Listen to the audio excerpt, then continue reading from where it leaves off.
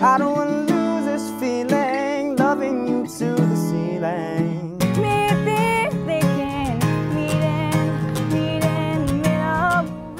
Remember these names Sam Mortimer and Brittany Tews. The two Arizona teens entered the first ever Be Heard songwriting contest held by the Conservatory of Recording Arts and Sciences. Each submitting an original song to the contest, focusing on the quality of songwriting rather than marketability or production value. So, their prize in all of this individual sessions at a recording studio.